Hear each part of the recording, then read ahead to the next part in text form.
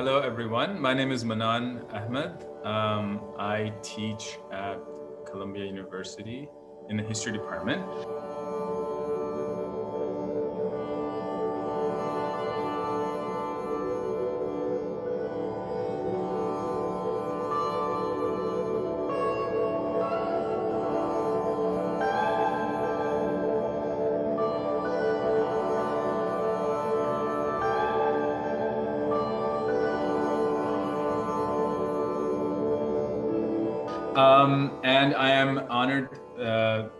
One of the board members at um, Asian American Writers Workshop, which is a organization since 1991 that has been dedicated to telling Asian American stories, emphasizing the lives of Asian Americans as migrants, as women, as people of color, as a Muslim, as uh, queer and trans, and how and countercultural in it their affect countercultural and the resistances that they have offered uh, with their with their um, activism with their poetry with their artwork and of course with their words. And so it is from that spirit of uh, resistance of countercultural movement that we began to think about a conversation um, with uh, Jafreen Uddin, who's the executive director, and Lily Philpott, who is part of the media uh, team at AAWW to have this uh, gathering called Radical Thinkers and have a conversation about some of the people who um, I guess are uh, thinking in radical different ways and doing um, work from that perspective. I am an interloper in the sense that I'm not going to claim radicalness, uh, but my my conversation partner today is Shahzia Sikander, who indeed is uh, a radical in all, all sense of the word. And it's, it's been an honor to think with her for the last couple of days in anticip- anticipation of this, this conversation. Um, and and to, to, to call attention to her um, amazing new solo show in New York, which we will talk about in great detail soon.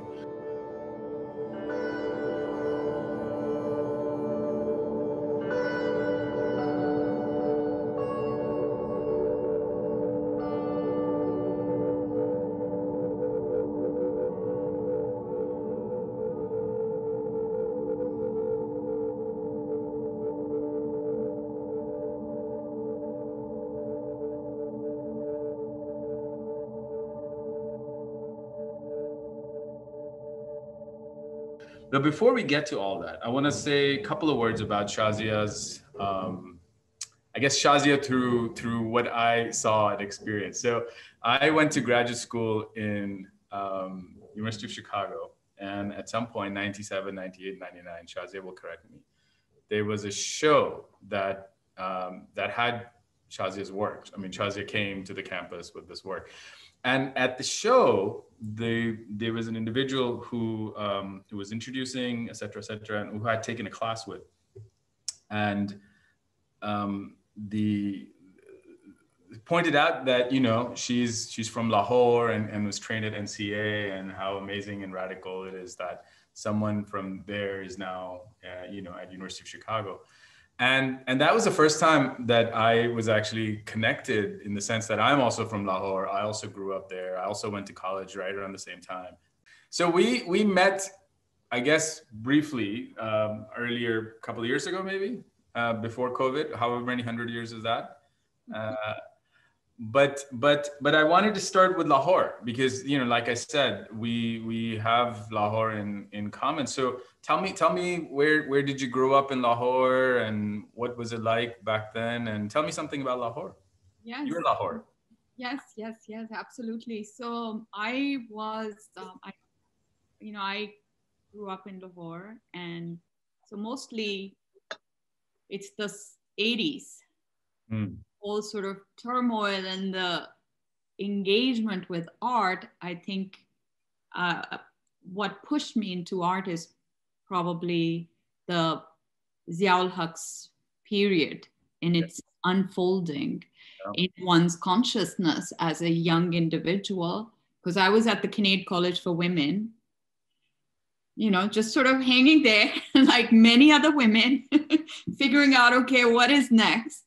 And at that time, art was not on the table. I was always interested in art and could paint and draw and was something a very intimate space for me growing up as a very introverted child. It, it gave me a sense of freedom and fantasy and you know all of that. So I never for once thought that I could actually pursue art in a in a more responsible manner. And I um, I was I, I, I ran into I I don't recall how I met, but the late artist Lala Rukh. Mm-hmm. And at that time, she was running an organization also called the Simorgh, a women's publication resource. And I, I think I did an internship there or worked with her. And then she also was instrumental in pushing me to apply to this National College of Arts.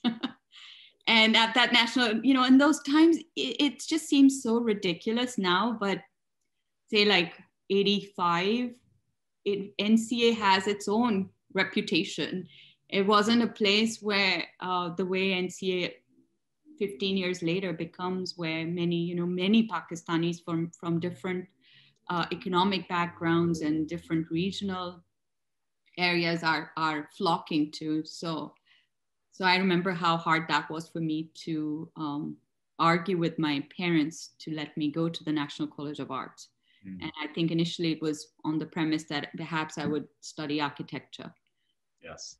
Yes. So, yeah, so that's that's the time when you were at the at the Lahore College. Absolutely. So you know you have um, look. It is there. There's something about growing up in a dictatorship, right? In a dictatorship that has um, just militarizes thought, right? So it tells you as a young person that you know you. So one of the slogans that I remember Ziaul Haq had was "Marde Momin, Marde Haq," and you know the man of man of faith, the man of truth. And the whole idea was that you conform and you become, you join the military. So my, as a man, as a male, my the idea for my family was give as soon as I reach, you know, the age of uh, 16, I will sit for the uh, ISSB, the military induction exam, and I'll be shipped off to become a military officer. And uh, and and you know the the Simorgh my my Simorgh in a sense was the the Women Actions Forum, which which had Shirkatgah as a as a branch in Lahore, and Shirkatgah was a, again um, a think tank and a, and a, and a space where um, just young young people like myself could gather and and and think and and protest. And NCA, I had so many friends who were applying. You know, they used to have a drawing test to get in. Yes, so that I will tell you because what happened was that you know Simorgh and Lala Rukh were Lala Rukh was one of probably the founding members of WAF. So I was also very much um, gearing towards how I could be part of the Women Action Forum. You know, yeah. even in its shadows, in some way, as a young thinker, it was like incredibly. Um, it gave you a space yeah. to yes. really think and find like-minded people and gravitate to a space which was emblematic of women. And at that time, you know, Asma Jahangir, one is looking at her. So this is a momentum that's happening, unfolding, and especially at the Kinnaird College for Women, right? It has its own institutional history, but do you, I have to tell you this anecdote. What they would do is they would lock the main entrance. The door would get locked. Once we were in, we couldn't exit. And I have, I, I recall women climbing up the those, you know, fortress fortress-like walls to to cross over to go over. I think they would open the gate at at noon or something. Yeah, yeah. At that time also driving ind- individually independently to the college was a big deal. I mean it's it's so difficult. Sorry? The private public space starts to you know get incredibly gendered. Yeah and, and that's that's what you know and, what allows me to think about art is like how do women intersect with art absolutely and and so it's private private public, it's male, female, it's resistance conformity, right? The, the public sphere is conforming. It's conforming to the idea that the military dictatorship is asking us to do at that moment.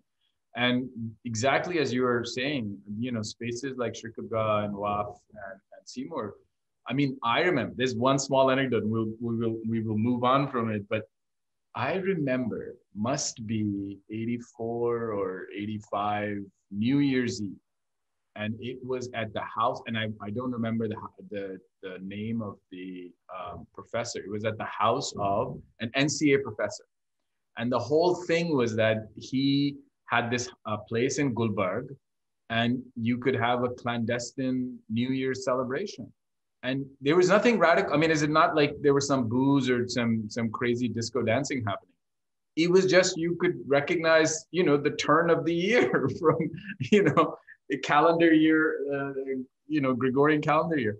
And I remember um, being there at about 11:30. It was about 13, 14 of us, and it got raided. It got raided by two cabs of police and and Jamaat, and he they dragged the professor out. I didn't know him directly. I was a guest of, of, of a guest, and and beat him in the street for simply hosting something and so that was the space that we we were confronted with as young people and to to create art from that space of just shutting down uh, of having this literal wall as you're describing at Kinnaird that you have to literally climb over in order to you know cross the jail road also called jail road, jail road. yeah the college was on jail road but you know again um, during my time at the national college of arts for about six months, the college gets shut down because the, there's protest from the Punjab University about the co-education nature of National College of Arts, right? So that always bothered. There was, I don't know, maybe 6% women at the at the Punjab College, perhaps within the structure of, of art history or art. That's what I recall as a parallel. But there was always this obsession that why is NCA 50%? It often was like 49% yep. men and 51% women. So it was very egalitarian in that manner, right? So this is also unfolding that the school gets uh, shut down for more than six months on a strike. So we lose a whole year, yeah. which often created another issue like, oh, when did Shahzia graduate? you know so my graduation in in different books goes from 90 to 93 there's never a consensus on when shahzia actually graduated should we put her in the 80s artist or should we put her in the new miniature 90s artist so that that also i think because the convocation of the yeah. college occurs even three years later after graduation because they wanted nawaz sharif to come and host the con- convocation so we could perhaps bring you know bring a little bit focus on on the visual arts and hopefully get get some resources but so yeah. so you know how the, how military a decade and then post military decade things are still in in utter chaos. Yeah. And you know i think thinking back to that that time i think one of the things that uh, is is you know as you said in your in your earlier that you know becomes what what is the question of gender what is the role of women not just in society but in art and art practice and how do we kind of think about that i mean i wanted i want to see if you want to show us a little bit of some of your some of your work that you might think uh, about that spec. but one of the things that um, i began thinking about lahore my own history in lahore lahore's history and I started to collect some stories. And I want us to kind of, I want us to talk about Lahore through some of these um, stories as well, because I think that these spaces of resistance, they're sometimes, you know, they're sometimes spaces like a NGO or a professor's home or a classroom or a practice, but they're sometimes also the mystical or or the you know unexplained or so i want to I, I, want you to show a couple of things and then i want to have this conversation yeah i think, I think um, i definitely want to uh, it's very interesting your book where the wild frontiers are when I was reading it, I it was literally I could open any page and I could align that with the drawing or painting I was making. Like I often think of my paintings as independent little poems or little, you know, notes, or they are independent of each other. It's not like uh, the whole one type of work that just unfolds over time. So mm-hmm. I I really appreciated the little um, sections and the titles in particular, mm. which I put a lot of emphasis on my titles too. So I'll go ahead and share my screen. Okay. And um, I had I'll I'll go quickly over just you know some personal images too. Aww. So that that's also like a, a grand like I I grew up in a multi generational you know household with all the uncles aunts under under the grandparents. So we all lived in one house. Where did and, you live? Sorry. Where did you live? So this is in Gulbarg near Main Market. Okay. And um, and then my parents built a house in the backyard, and my uncles built a back house in the backyard. Another family. So eventually, you know, everybody got their little tiny house in in the general um, hmm. under the grandparents' house. So this is me, I wow. guess in 1987 or six or seven or eight, I can't remember, but uh, this is also working on the scroll painting. Yeah. And which got a lot of attention. So I was on the cover of the Frontier Post, which I think doesn't exist anymore. No, it does not exist.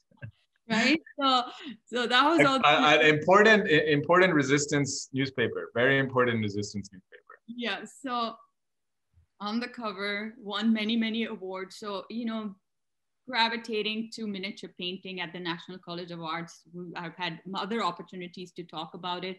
I'm sure it'll come up here and there, but you know, I I, I did study with Bashir Ahmed and learned the, the, the whole craft and copying and understanding through copying. And then my um, thesis was sort of a rupture and I in scale and format and theme and bringing inserting the personal and the feminine into the space. Yeah. And um, then i had a chance to engage with bashir ahmed uh, in like last year and the year before especially because i have a retrospective of the 90s coming to um, to the us opening at the morgan museum mm-hmm. library and um, then the you know there's a big decade, two decades here before the the image on Frontier Post and the inaugural award with the State Department. this is um, so I wanted to just stop here for a second. I in 2009 I did a film, sort of a film. I I was I went to Abbottabad and recorded some some original i wanted to record the original music with the army's uh, music school so it became bending the barrels and it took a long time before you know they sort of detoured and shared some of their own compositions but it was this patriotism which was being played around and and it could be any era. It was it's 209 but it could really be the 80s also. So there was this thing which i call bending the barrels and um and also i ended up having them play songs like Chaudhvin Ka Chand and these romantic ballads, right? So then the military playing those was a it was just a very kind of just this paradox of sorts. Yeah. Um, so yeah, so uh, just that sort of return to Pakistan in, in, you know again one one's always returning to pakistan or one is always situated within pakistan. And i've always had that struggle where you know where depending on whatever is in vogue or wherever the larger discussions are especially like events like 9-11 this that who is authentic and who gets to tell the story and who's operating from within the cultural authentic space. So that that thing has always been, I think, a, a big issue and trope in terms of um, of uh, artists that um, that are perhaps transnational. I don't know if that's the right term. That term itself is problematic for me too. But so much of the iconographies that started to emerge early on were about the forms that was self-rooted, so that yeah. they carried. Let me let me ask you something. Mm-hmm. You know, when you were when you were at NCA and you're you're thinking and learning, copying the miniatures, Mughal miniatures. What's striking to me is while you know, whether it's through Bashir Ahmed uh, personally or through Lala Rukh and other kind of the ways in which the the the Mughal miniature, you know, the narrative is that it you know it gets rediscovered. What's striking to me is that exactly at that time period, the actual Mughal period, the actual Mughal heritage, is completely absent from Pakistan, right? So I and you presumably are reading textbooks in which it's Muhammad bin Qasim, who is the citizen of Pakistan. It's not Akbar, it's not Jahangir, it's not Babur. You know, Shah Jahan is nowhere to be found in a city that has his imprint. So it's it's actually the Arab conquerors. So, and as a historian, I I I I must say that I cannot name a single historian of the Mughal period in Pakistan at that moment. Not a single one is writing Mughal history. So your state isn't denying Mughal past because much of the Mughal history lies in partitioned other part of the partition subcontinent. Your state is saying we are descendant of Arabs. We're not Mughals in ethnically or or ideologically. I wasn't taught any any Mughal history as a as a student. So where is the local you know just to comp, you know make complex this idea that you know it's it's only pakistan and american you know like it's the pakistani identity and the american identity that needs to be questioned um, how do we even think about the mughal um, relationship with the mughal history within pakistan right? Within pakistan you have a in a city called lahore which is an important capital of the mughal uh, empire at various points. You are you are recovering it not you but you know the generation. Um, while it's absent elsewhere right so it's effaced like this in in this um, there's an effacement or a veiling um, and there's all of these other parts so how do we even think about what do you even how was mughal history or mughal past explained to you as a student at nca what do you remember of, of of that encounter with the with with with, with the Mughal history. Manan, absolutely. What you're saying is so so relevant because um, in my experience, it was so surface. Yeah, there was absolutely no understanding mm-hmm. of the Mughal history. Um, interestingly, right, like one is studying miniature painting. Right, right but so the references would be visual here right. and here, and that too incredibly scattered. Mm. Just a couple of images because this is now pre-internet. Yeah, so is it's all dependent on the four or five books in the library that are being recycled, mm-hmm. and there are uh, there was no emphasis at that time to really uh, get into history or critical discourse and read about read. It was just like paint. That's yeah. what you're supposed to do. Learn the technique.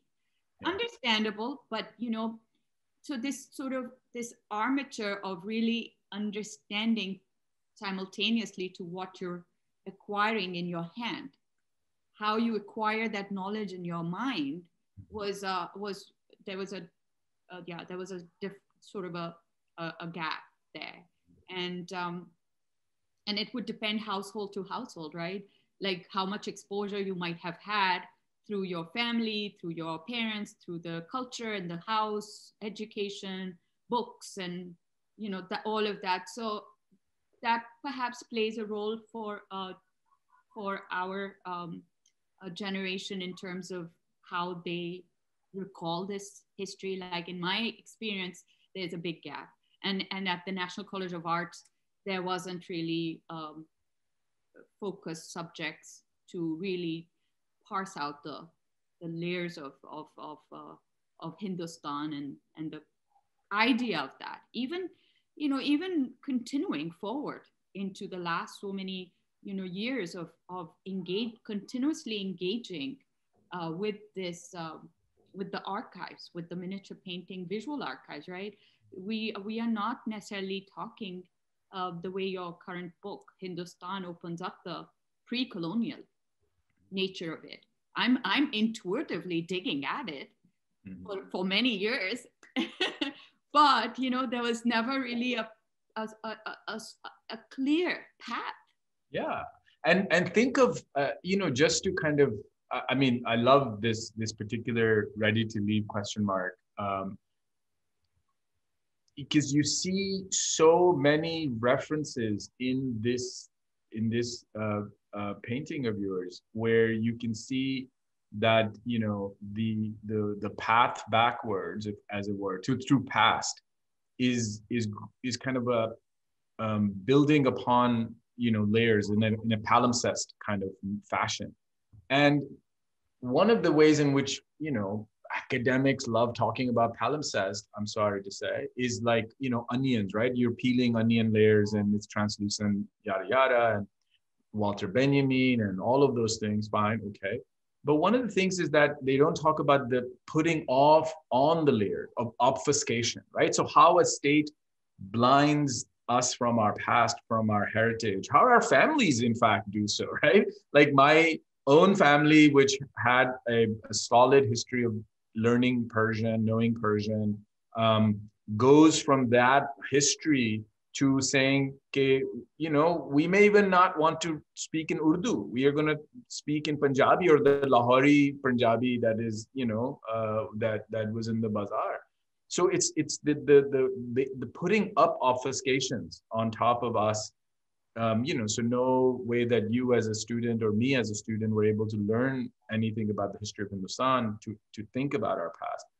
And one of the ways I, I want to say that I began thinking about this idea in Pakistan, in Lahore, is, is tied directly to this painting, which is this idea of chalawa. Um, and chalawa, why don't you tell me what chalawa, because since it's there. no i know manan it's just so it's so exciting but at the same time you know i i am thinking like why could we not have had this conversation in chicago I know, right? Think of the uh, uh, alternative worlds where we had this conversation in 97. Like, if we lived in a system where histories were readily available, where it was easy to cite, where we were informed, we would not have lost so much time. Yeah. And that bothers me so much. And, and that sort of state of melancholy that I'm often in is what really is one of the reasons why I make art. And, and that's been sort of this degree of impairment for us mm-hmm. operating, not necessarily just this idea of operating in the West, I think even in Pakistan, there is a healthy yeah. level of impairment. So we, so that is also, I think, um, just a theme throughout the work that I make. Yeah. And you mentioned Chalawa, right? The other day it came up, and I was like, oh my God, I was making all this work around this idea of the Chalawa. And that book, that Renaissance Society, at the University of Chicago published, actually the essay, the title I just realized was Chalawa Klatch. No, really? Conversation with the Chalawa. Oh. And and the conversation, of course, is at that time, right, with Homi Bhabha. So we don't even talk about the Chalawa. yeah, well, yeah, he's kind of a Chalawa-ish, but yeah, right? yeah. So totally. oh my God, it would would how we should we should have that conversation again. Yeah. You know, to to to understand the missing gaps yeah. I mean i want to i want to just underline something you've just said which really strikes me as incredibly important. Um, and it's so much a part of how i was thinking about my book about the loss of hindustan is what you're saying right? This melancholy where you're removed from the knowledge you're removed from the past you can't see and you're making your art in order to kind of connect these dots and you know to stretch across these these these spheres. And i feel that so so much of looking at your work does that for me as a as a you know so you're making your art practice from that from a from that perspective. But then when i'm looking as a as, as i look at this that happens to me where i am seeing these connections these nodes that remain untethered being knit back together right? And it's and the chalaba became a story so chalaba is this this figure that is a sometimes personified as a woman um, and as a as a woman that is enticing and uh, alluring and could um, take a traveler on a dusky dusty road at night or evening really and uh, and rob him and rob him mostly of his of quote unquote vitality uh, but also but also also his possessions um, and and sometimes the chalava is is is like a goat. Sometimes the chalava is like a, a cow, a calf. Sometimes is you know it has this other mythic forms. And the chalava, I I remember collecting these stories in Lahore, and the chalava became a way that in in the transmorphic, more transforming pers- pers- personas became a way to really encapsulate this idea of kind of different modalities that are connected, right? So the chalaba will show up in a very matter of fact police report, right? Like young man, you know, 6 p.m. Southern, you know, claims lost all his belongings, woke up in a fever, was robbed by a chalaba. I read this report. Uh, and so it's the police record, but then it's like the the guy that I was talked to, and he would say, you know, Lahore used to have all these chalabas and then the military purchased all this land and built these colonies. And now we don't have chalabas anymore. And it's like that past that has just just vanished. But here it is. As in, even it's vanished in, in this ready to leave, you you are able to see as an artist, you're able to capture it so that someone like me can see it. I mean, it's really, really powerful to kind of think about these issues, right? yeah and you know so like imagine this work is in the whitney's collection. Would they ever write about it in this manner? Never. We should send we should write and send it to them for their archives right. Right uh, we, it, it, it, that was the way i framed this painting. Yeah. it wasn't about me it wasn't about you know i'm like a muslim woman that has come to the West, and then voila, you know, we are opening up doors. So that, like, the frustration of such uh, positions being thrust on one, right? Yeah, so, of course, what I do here is that I play with this mythical notion of the chalaba. Yeah. In my experience, the chalaba had been what I was recalling my grandmother uh, from my mother's side would often be like, you know, we wouldn't come and visit her enough. In and out.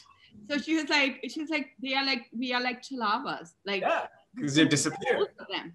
Yeah and so that's what i recall that it was something that is so fleeting. Yes. that you know and and Hard memory right?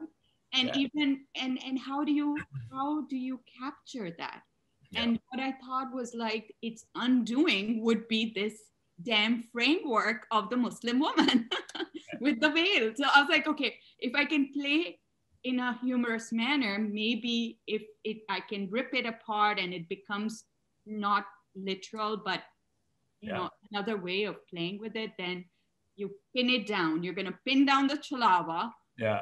This um, with this very rigid interpretation or this relationship with the feminine and the yeah. And and you know if, and you're in your you're formally you're pinning it down here in this frame you know there's the circle and there's the frame right? And the chalava intersects in those things. I mean it's really it's, it's quite quite amazing to see. I, I i you just showed it to me a couple of days ago. You know i'd never seen this painting before. Uh, so that's why we need to have this conversation I know. okay so so Shahzia, I I think we should uh, we should turn to this amazing show, which I was really privileged to go see. I think you're either not the opening, but the day that you were you were present in the gallery. Um, and I walked down and I walked up, and my brain was just on fire the whole time. Uh, it was just fascinating. So, so, so walk us through and tell tell us tell us a little bit about it, and then we want to I want to talk about a few things specifically with you. Yes. So this current exhibition, uh, Weeping Willows Liquid Tongues, is um, is on right now at the Sean Kelly Gallery in, in New York City till um, till December 19th. It is a show that I have done in New York after several years. I have been exhibiting and showing and making work, but not necessarily in New York and mostly a little bit outside of the US. And also doing you know different public art projects I ha- I was doing. So this show was giving me an opportunity to uh, showcase the last couple of direct years of directions. So that's how I ended up curating this particular exhibition.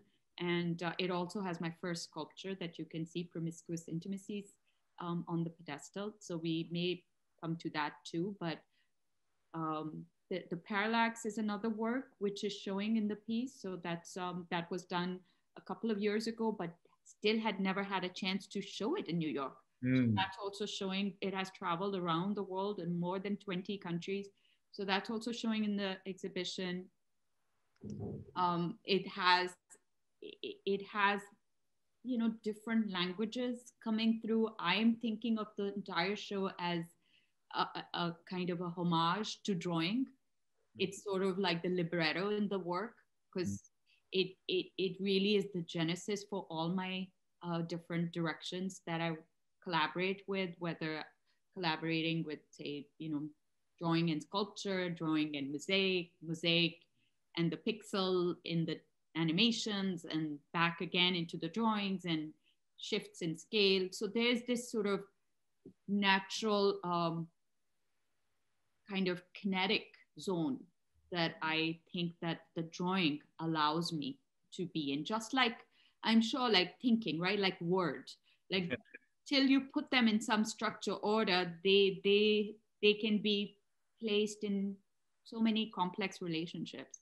Yeah. So that's that's one way I, I, I have worked. There's another public artwork that I did at Princeton. So, you know, even even the drawings are informed by um, by engaging in multiple languages. And this work, um, Manan, that we were talking about, the X in mm-hmm. particular, uh, it's kind of literally engaged with with language, with text, mm-hmm. but it also has so many more possibilities of interpretation. So yeah, let's let's let's linger at this for a second. Can you show the whole the whole piece? Yes. So the whole piece is in English and in Urdu, mm-hmm. and um, and yes, I do. Uh, it's got the references to Ghalib, so I'll come. Well, it, I mean, not just references, right? So you say, so you are playing with the not playing. You're using this couplet, right? जहाँ क्यों निकलने लगती है तन से दमे समा गर वो सदा समाई है जंगो रबाब में so tell me tell me why you chose this particular couplet first because i have an interpretation of it which is i'm, I'm interested to see what you, you think of it well um how i my Urdu is really pretty bad but how my interpretation was that what I've written in terms of the counter, right? Or it's what do you call transliteration? But yeah. it's it's um it says journey into irresolution. Yeah. So this idea of uh, the X is constantly moving. Yeah. And you know, um, the target is always moving, and then the center is always moving. And I'm saying the center is right here, mm-hmm. as in me, as in the exhibition, that I'm no longer interested in addressing the exhibition as the underrepresented narrative. I am the narrative. Mm. Is that then, as an artist, I'm playing with the fact that you know the uh, the work of an artist is never complete. Yeah. It just it's the unfortunate or this sort of the weight, the burden of that, that it's ongoing. So you will never have that um, satisfaction of consummation. It's just ongoing. And I think that ethos is very present in this particular ghazal. I, of, when of, I was uh, um, when I was in your when I was in the physical gallery, um, just to tell everyone, it masked and masked and socially distant. Uh, the I was looking at this and, and you know one of the one of the first thing I I I was struck by is that so much of how the uh, Western thought, but also Western art history uh, when it confronted, um, you know, the, the art practices from Hindustan, that they fetishized what Edward Said would call the arabesque, right? They fetishized the calligraphic. They fetishized how can these swirly languages with their, you know, sinewy alphabet intersect with each other and can be put in different rigid patterns. And what I loved about looking at this is like almost the way you you've juxtaposed that the words are both floating together and falling apart and kind of you know this blood red that kind of drips in and out and so in a way you're kind of in this piece what i saw as a as a viewer was that you were you were kind of pulling those sinews that inform you know the calligraphic out and disentangling the words in fact. And and what what then when i when i leaned in and i read like the actual you know what the what the couplet is which is lagti hai tan se dame sama it's about the actual fleeting of life from the body as you enter this ecstatic mode. And so Ghalib is talking literally about how you know that mode of transference where you're you're you're you're figuratively and literally um, breathing out and your life is escaping. And and it was so beautiful that this tension that that that you know our our, our bodies contain our our breath. And here it was just exhaling or expanding or you know um, bleeding out. It was just so amazing to see. And I spent a lot of time just looking at it. What you're saying is so, you know, like how you're interpreting, I think is the first interpretation anybody has had in a in a in just understanding it in some tactile manner. I often nobody will probably even talk about this work as you've maybe I, uh, like the, the the focus on the show in the press and in general has been on one or two images, which are much more easy for people to yeah. digest. And, and here they will they will not be able to understand, perhaps because of that history of this fetishization yes. language, right? Yes. And that okay, so that's not my burden.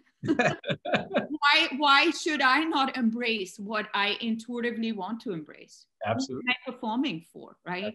So like when I make certain such works, I get attacked from both sides. Yeah. Oh, you're playing to that idea of that fetishized zone.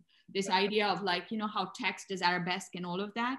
Well, yeah. part of that has been for many, many hundreds of years, part of the manuscript, part the writing exists with the image and yeah. then also there, there's it's not decorative.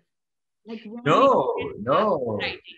i mean that's that's exactly what said said right? In the arabesque it becomes illumination decoration. It becomes gobbledygook that is written on the side to make something look quote unquote islamic or oriental. But i want to say one more thing about this image which is um, this this this painting x which is that you know um, one of the things that I've I was methodology you know to use a bad academic word methodology. Uh, one of the things that I was very consciously doing in my book was that I was saying how do we think about the past of Hindustan without losing sight of the colonial heritage, without losing sight of what the colony does to the post colony. And again, you know, Ghalib is such a perfect example because Ghalib is both tied to the Mughal state as a teacher of Bahadur Shah, Zafar, but he's also has to post 1857 draw pension from the colonial state. And so he has to figure out how to write in English. He has to figure out how to write in English when he has Persian and Arabic, uh, I mean, Persian and Urdu as his main. So when you write in English across this, as you see, you can see like, you know, little snippets in the bottom half and maybe also in the top half. First of all, the scale of this is amazing. I was, I was just like, yeah, that's exactly right. That's exactly the ways in which the colonial languages, the Persian, the Urdu, the worlds have been kind of that's the moment of of this you know in, in in the same couplet that he says you know that you've taken this from uh, this this uh, this poem that you've taken this couplet from he has this other other line which is um क्यों है आज क्यों जलील के कल तक न थी पसंद गुस्ताखी फरिश्ता हमारी जनाब में how is that we have now been debased um, in this world that you know um, that this debasement has come and he's he's talking about love i guess but he's i think also talking about the colonial state so that's why i, I think this is such an such an amazing amazing piece of work. So beautiful. No I, i'm so appreciative of your insight into it from all these perspectives because i think uh, all of that is informing me because again of how where we are coming from yeah. who we are right? It's we both grew up in pakistan and then that that that we carry that.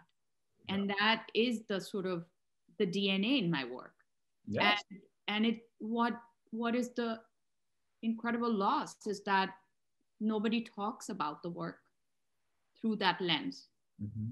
and and hopefully you know we we can generate more conversation around this topic it, itself um, so let's uh, let's look at a couple more um, uh, you want to show us a little bit more I yeah so I, I was going to share just a quickly that you know I, I was in Sharjah when I was uh, working on um, eventually parallax comes about through that opportunity but when I was doing research I came across the cinema and I was like it reminded me of so many architectures and in yeah there's, there's Al Falah cinema in lahore exact same yeah.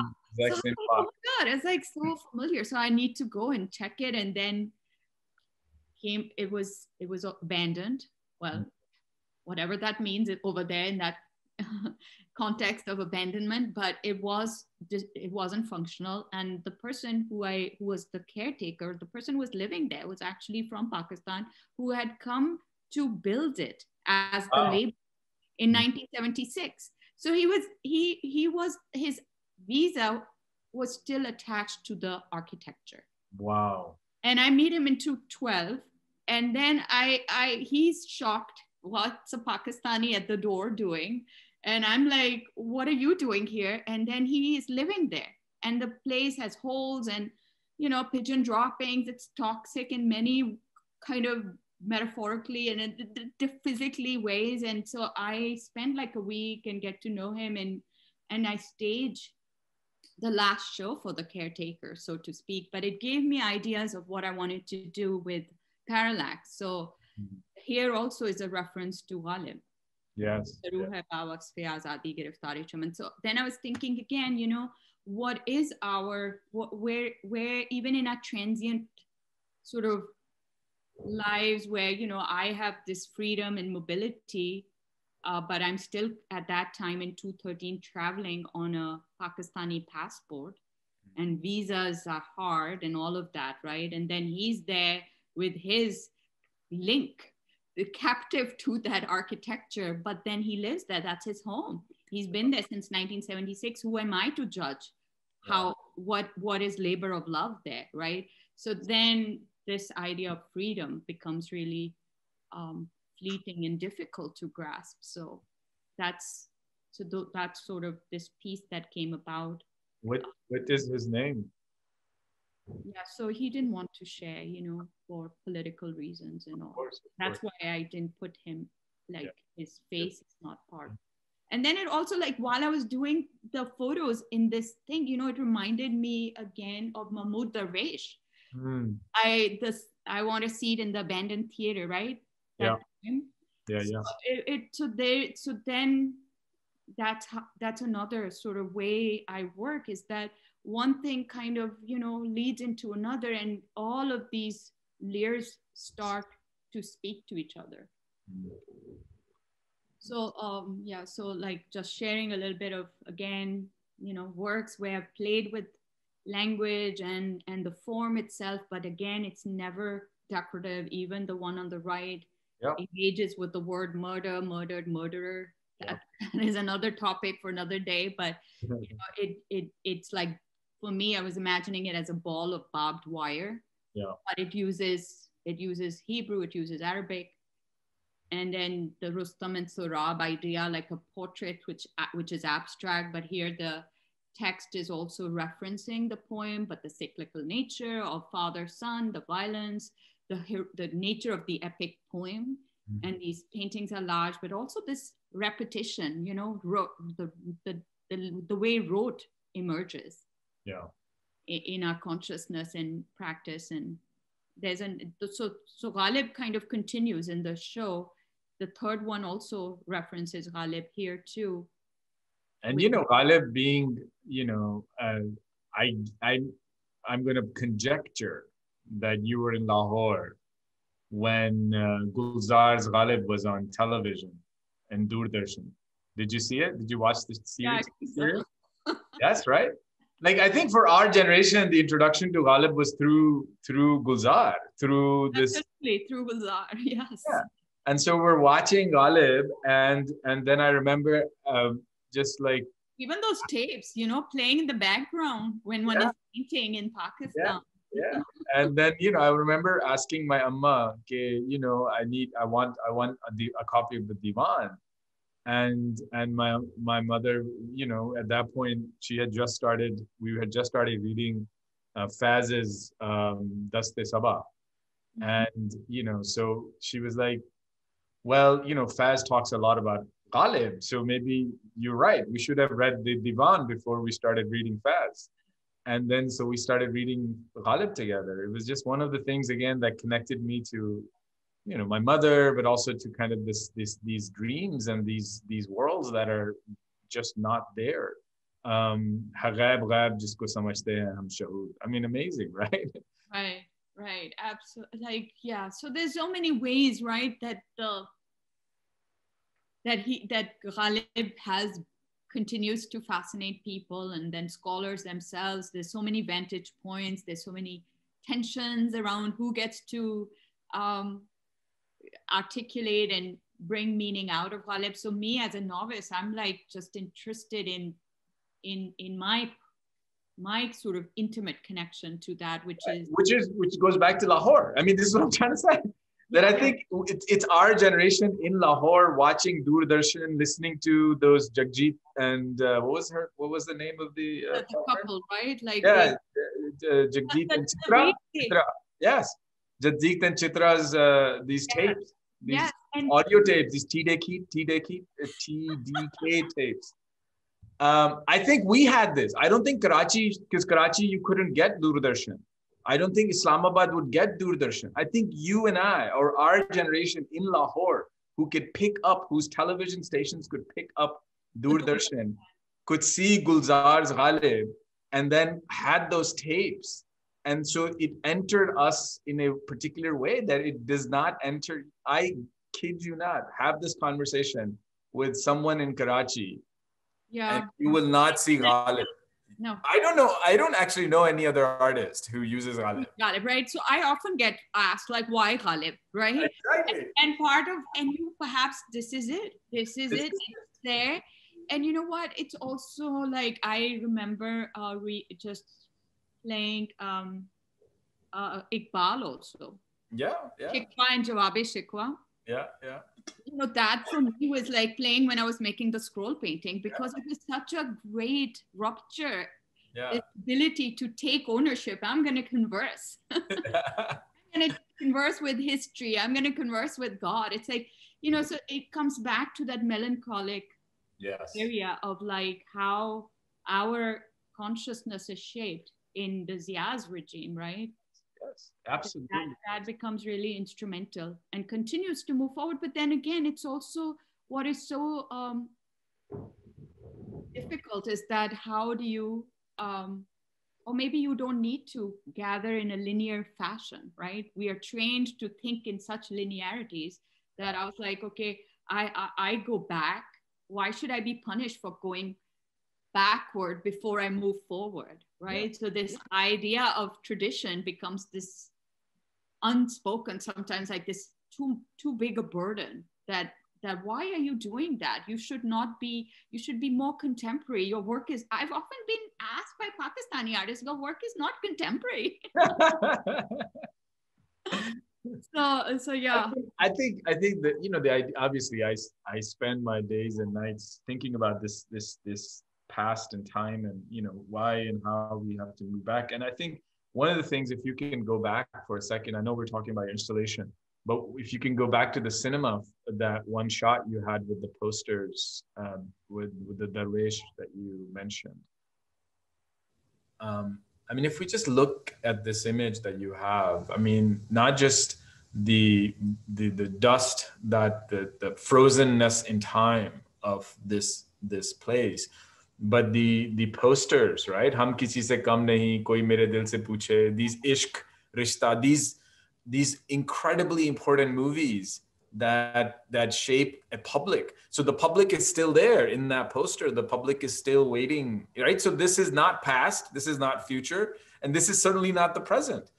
And so i think in, in many ways your art is doing precisely that. It's not moving linearly in a linear fashion you know past and present and future like i think what you're doing and what i sometimes try to do in my writing is precisely to say that we are not time is not linear as the western epistemic kind of forces upon us.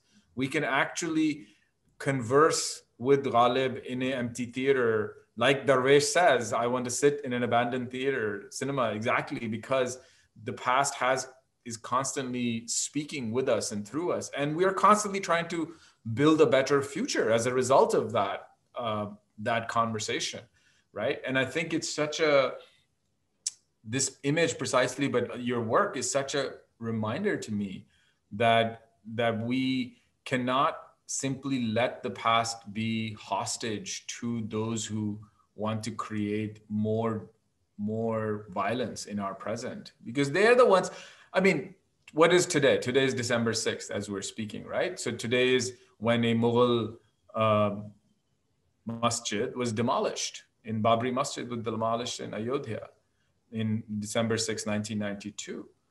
So that's a claim to the past. That's a claim that says that you know this this mosque must be demolished in order to uh, create a, you know a place for Ram to be worshipped, and the that act of possessing the past is what I think your work certainly my my hope is that we get to interrupt. Um, walter benjamin who i you know who i mentioned you know had this had this line as he was he was himself trying to resist the nazi regimes was that you know the dead are not safe right? The dead are not safe from from those who who are going to claim the past. It's, it doesn't matter that this that this this Babri Masjid is in the past and Babur is in the past, or they're still they're still there.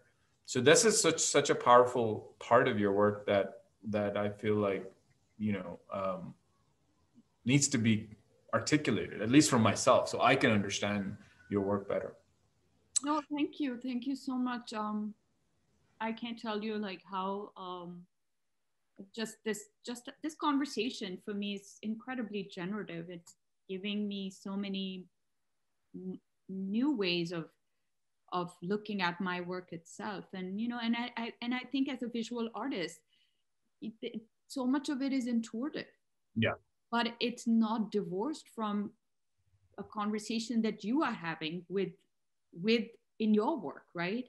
It's just that oftentimes you are you're in you're the you're the historian and you know the art art maybe it, they want me i somebody writing about my work has to be the art historian right right? So there, there's this sort of separation right there. And why not? Because I think that's where we need to really uh, have a discourse that allows conversations across disciplines. Yeah, yeah. And that's incredibly important, I think, especially for Asian, like for for for us as Desis, because these silos are what I have, what often depress me. Maybe which is one of the reasons why I wasn't that excited to do a show in New York for the last eight nine years. Right? Was that it, that where I don't who are you making the work for? Yeah. Sometimes you forget, right? The work hopefully can exist over time, but at that time, as an individual, these are these are such um, important ways of of and, having conversations around that that and, would work. And then I, I want us to, I guess we should we should start thinking about wrapping up. But I want us to kind of I want us to talk a little bit about this idea of how you've been written about. Um, mainly because you know just just you know just in trying to kind of think about our conversation today um, i looked up some of the ways in which you know the press has written about you. Oh, and i this I, I, hope this is not triggering but i'm going to read a little bit a little footnote uh, from i guess this is from 2001 uh, and this this white white art critic or art historian. I don't know who he is. I didn't I didn't bother looking him up. But this is how he he he he writes about your work. He says, "Sure." You're gonna see what the what the work the word "sure" does here. Sure, the painter Shahzia Sikander, born and raised in Pakistan, manages to flip the script on the whole history of Indian miniatures but to position her as an artist throwing off the oppressive yoke of male patriarchy, Islamic censorship, or the pervasive Western fantasy of South Asian culture as simply some kind of prohibitive version of footloose does a disservice to her work. and, you know, I was just reading this and I was like, the way that you, I mean, obviously 9 11 shapes shapes my work in terms of the types of histories I write. Obviously, it has an impact on you, but the ways in which the the American press wants to claim you for doing different kinds of things, right? Like, oh, you know, not being Taliban, or you know, whatever this insane review said, um, must have been a burden that, you know, I just want you to talk a little bit about that struggle that you faced over the years, um, being spoken about, written about in a particular fashion um, you know, just share some of your thoughts on that. I'm just really curious to hear a little bit more about it. So, um, I, um, yeah, Manan, this is, um, this is really, it definitely has been, can trigger me in the past, but I think I feel. I didn't want to trigger you. I do feel fueled right now with the recent you know, having put an exhibition up. So I've been tapping into that zone for a while for the last few years and using my frustration to create work again. And in that sense, I feel really blessed that, you know, one has one has art and creativity to use as fodder. But I I it is it is very, very difficult that yeah. when all this sort of nuance that one is exploring and engaged with and who we are. We are such complex notions of, you know, of, of um, uh, as creative thinkers. Mm. And how some of that completely gets erased, not once or twice, consistently. Yeah. And that that for me is um, is really upsetting because even when you know coming to the US, you come and you're within a year or two or three, it was pretty clear that it was a black and white narrative and being in between all of that there's a level of great invisibility and perhaps opportunity for new conversations right so there's this constant sort of between being in between yes pendulums and and which for me was about breaking the binary like the work work automatically was aware of the binaries, but it was going to take on as many and as often. And so that's sort of where the work sits. It sits between multiple spaces mm-hmm. and mm-hmm. and offers precision but open-ended narratives also. Mm-hmm. That that's that that's how I was um uh, that's how I wanted to sort of talk about perhaps this one painting because Gayatri Gopinath wrote something which I thought was again different from its interpretation. It must be, this is done in 2001. And I think in some art history books, it's basically talks about again, um, me fleeing Pakistan or this idea of Muslim mm. case and coming to the West for freedom or some, some kind of sentence or two around that that situates it in this place. So she talks about it. The representation of gendered bodies takes on a particular valence in the context of imperial war and carnage at the start of Bush's war on terror. It is worth recalling that the initial human rights justification for the invasion of Afghanistan in 2001 was to, quote unquote, save Muslim women from Islamic extremism. Pleasure Pillars speaks back to such paternalistic and fetishized gendered discourses and insists on revivifying submerged and forgotten narratives, genealogies, and traditions of pleasurable, sensuous, and joyous gendered embodiments. Mm. And I thought, you know, perhaps that, that was intuitively what I was aiming for, but maybe none of that um, language would ever been applied on that work.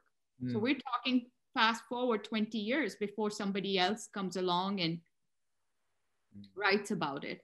So, but in that period of, of those 15, 20 years, this, this particular work has operated on many other levels and in books and here and there. So already it has been erased. It has been written about in ways that I cannot control anymore or yeah. I couldn't. So I made the painting. So that that that kind of constant, um, whatever you call it, catastrophe of sorts that that sort of I feel like it's a assault on my senses, assault on who I am, is um, it, it gets really dif- difficult and reductive. And you know, there was another piece here. So then I then when I think of it, I often think of the stalemate mm. so I, I so all of this will allow me to think you know in in visual ways where i'm playing on how i'm feeling and how i want the paintings to feel the visceral nature of experiencing the ink and paint the gouache the scaling up as you saw in the x like that's almost a 10 foot work yeah body becomes part of the experience so it's so it, it so you know some of that sort of starts going into these large scale projections right into space. So this idea of of of uh, of the frame as being constantly, it's yeah. almost non-present. What is it? What is making this image is just light? I love I love uh, I love what you're saying right now. I, I just want to, I guess, underline is again just to say what I'm hearing back to you, because you know, as someone who's being deliberately put into these frames right? Like within the page of the newspaper where your you know your your piece which i i have reading of it. I can i can i would like to like to share it with you but to to kind of blow it up right? To say look where is the frame now right? How do you how do you encapsulate this installation which is you know in in in space in time and in, in, in on on the material world on these trees and and it's it's just beautiful and amazing and such a such a such a deliberate and creative response to what the ways in which you've been bracketed. But if can we go back to that uh, image for a second um, the the painting itself the painting itself yeah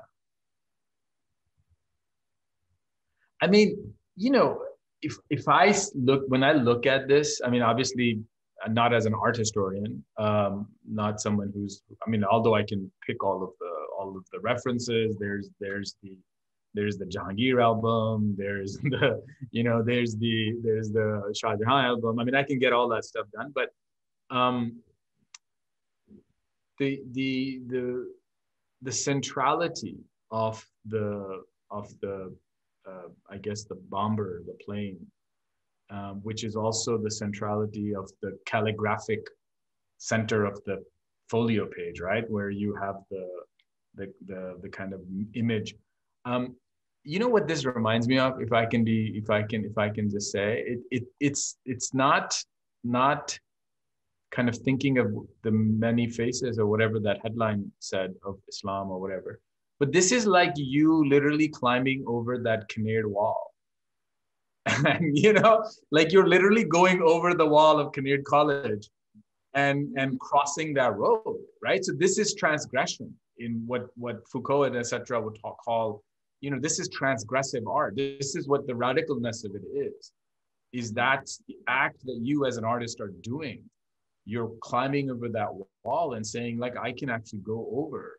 And that wall represents not just the kind of ways in which the west is looking but also the ways in which the the art practice is looking at you right? Like not just the west looking at the world but the art world looking at you. I mean this is such a such a to me such a deliberate kind of idea of, of, of overrunning boundaries. And as when you were speaking about the installation pieces, right, which is in in in space, saying where is the frame now, then I'm like, yeah, that's exactly what is happening. Like you are saying, where is the frame now? You're saying it here, and you're saying is there. So it, it makes perfect sense as you have narrated in, in the series of these these uh, these few paintings. Um, anyways, that's all I have to say about that. Um, so Shahzia, I think we should we should we should wrap up. Uh, so I have one last question, and then I think we we wanna we wanna uh, finish the conversation. I, I guess I, at the end we've talked about your process and how you're kind of thinking about you know what what happens to you as an what happens to you as an artist what happens to you as a citizen how you experience things and then how the art is a, a type of kind of response that's happening? But one thing that you're doing which i think is quite amazing is you're you're learning or i don't know learning is the right word but you're kind of creating so many new ways to think with you know different forms. I mean the sculpture was so amazing. So just talk a little bit about your about i guess your process of how and what you continue to kind of you know climb those walls those Kinnaird college walls. I mean i think my the theme of this show is going to be lahore because you know that's where it is. Yeah um language is so critical in so many ways in this exhibition in the process in thinking but also thinking at the loss that I I feel like I think earlier we talked about you know how families in in the 80s in my experience in your experience also enforced a certain type of language over the other like in our household we were we nobody taught me how to speak Punjabi mm. and and I it's just so such a burden now that I wish I could speak Punjabi because the if you're not fluent in Punjabi there's no need to speak it right. One of those languages, right? So my mother's um, um, natural tongue, her tongue is very much Punjabi. And I think the emphasis was always on India, English medium schooling and speaking in English and going to a Catholic school at that time, the convent, all of that. So that's also, you know, this negotiation between different languages. Yes. That's going on. And so it's informed one's um, process from a very early age. And that's how I often think of, of, of my work, but in particular, this exhibition, when you're standing in that place, you can hear the Urdu unfolding in, dis- uh, in Disruption as Rupture. And there's um, the new piece is in a colloquial Baltic region area. It's almost, it's Turkish. Um, uh, uh, Zeb Bangash singing that. Then parallax, you can hear sound, sound of parallax coming from under, and that's all in colloquial, uh, classical and colloquial Arabic. So mm-hmm. that was also kind of intentional that orally you're transported in multiple languages. And then you have the, you know, like mosaic, sculpture, small drawings, large drawings, but they all are um, incredibly linked and linked through through the relationship of forms and scale and languages, but also linked through this attention to detail and craft and material, transformation of materials. And uh, this this work, I, I recall this work you you liked in particular, right? This and is my favorite. This is my favorite. Yes. So even here, you know, this would it's hard to share that in in a virtual place because when you come up close, you can see that nothing is grouted. Some forms yes. sit outside. It there's like these unexpected uh, relationships between material and then also these two particular forms. Somebody the other day was asking me what is this sort of you know this sort of form which is is it the ghost? And yeah. then i was like actually that's an interesting way to think of it that it's the spirit that kind of um, runs through through the work itself. But um, even referencing you know golconda or like some of the styles that that are there those have become um, um, templates of sorts Mm. So how do you activate motifs? How do you how do you create ownership with them? And that and that that really is something that I constantly think about in terms of if I'm looking at the archives, if I'm studying something, and then you know how do I create my own bridge to that? Mm-hmm. It can be as simple as like I'm just going to appropriate it. It has to have I have to digest it i have to regurgitate it i gotta i gotta fight with it. I have to i have to be honest about that process. And in that in that space you know i i have to let whatever is going to emerge out. And and that's that's how i think of of of uh, the relationship between languages themselves. Like this too for me is like the mosaic but here again the reference is so much to the islamic geometry right? And then again the the, the nature of the female that runs through the entire show is you can you can again come at it from many ways. I, I think of it really as as a as a place of, of, of injecting questioning social justice questioning you know the the the, the expunging of the feminine yes. from historical narratives in particular. And obviously like even miniature painting like i don't know a single um, uh, painting ever being a given you know uh, being authored or being kind of that that a female painted that. Uh, how is that possible? There must have been female miniature painters. Absolutely there were yeah. So so you know so that sort of that gendered zone like here the mughal court gets you know, I accumulated with the women, then I remove the bodies, then the hair remains. Is the is the hair intact? What is the what can I do with it? Can it be choreographed? And I think of particle systems, and so there's so many ways in which um, in which one as a as a as a artist can the freedoms that I can take.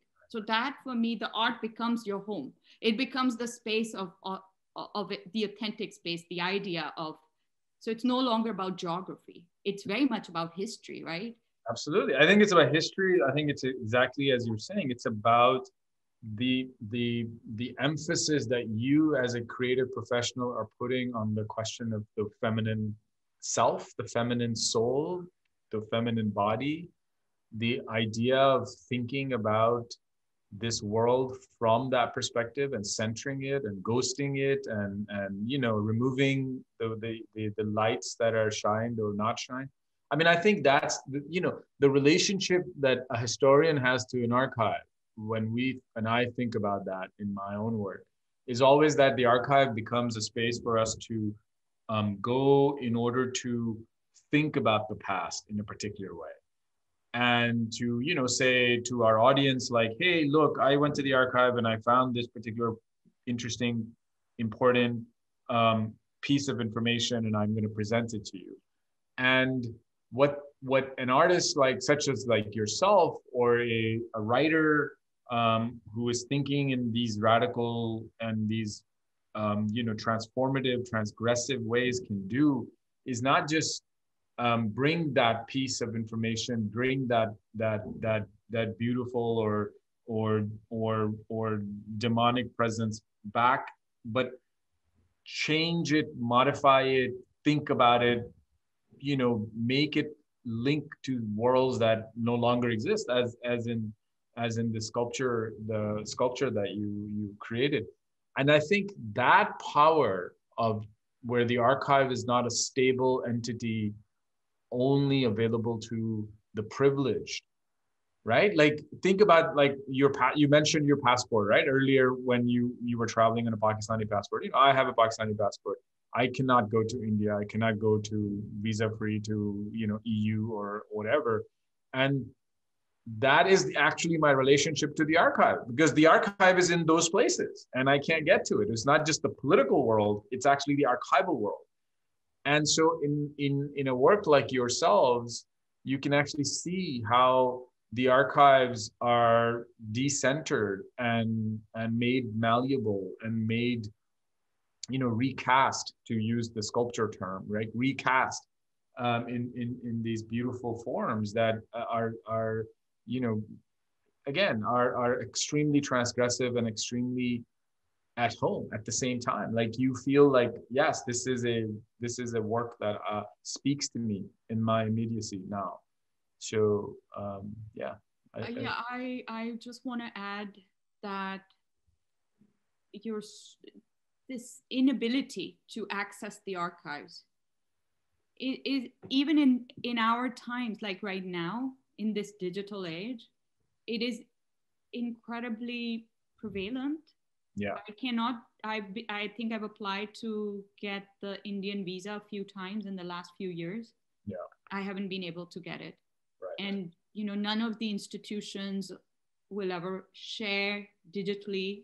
That's another difficult yeah. uh, story about the archive. But so most of the material exists in people's homes in storages that will never we will never access till we actually if one knew somebody and then you happen to physically be present there so to let go of that entire space was yes. one of the harshest i think mm. um, uh, realities for me i had for a long long time wanted to uh, be able to be in india many times to really work work there, if not necessarily live there, but at least live there for, for a few weeks at a time and develop the intimacy that is projected onto the work. So when you come to a place like outside of South Asia, right? And then all of a sudden you have to perform as this South Asian. Yes and then in that south asian you are speaking for the indian you're speaking for the bangladeshi you're speaking for the pakistani and you got all got to be happy right? Then but that's so not that that remove just sort of blurs the whole thing. Yes. because there is not that intimacy is not there.